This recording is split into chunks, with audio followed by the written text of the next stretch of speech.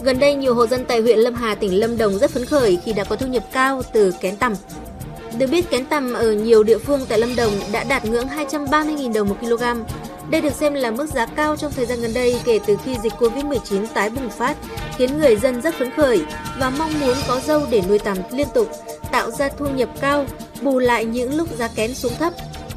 Hiện nay thì giá giống tằm con vào khoảng 1,1 triệu đồng một hộp, cộng với năng suất dâu đảm bảo không bị dịch bệnh, nên người dân đã thu hoạch được lượng kén chất lượng. Chính vì vậy chỉ sau khoảng 15 ngày nuôi, người dân đã có thu nhập khá cao.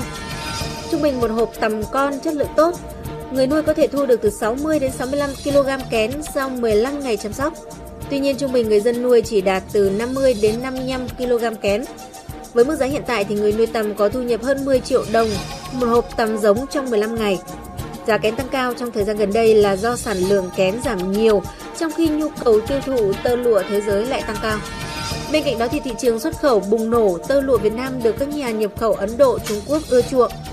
Hiện ngành nông nghiệp Lâm Đồng đang khuyến cáo người dân tiếp tục đầu tư chăm sóc dâu để tăng năng suất, đảm bảo nguồn nguyên liệu phục vụ cho chăn nuôi tằm. Ngoài ra thì người dân cũng được khuyến cáo chuyển đổi diện tích dâu kém hiệu quả sang trồng các giống dâu mới, năng suất chất lượng tốt, có khả năng thích ứng với điều kiện khí hậu.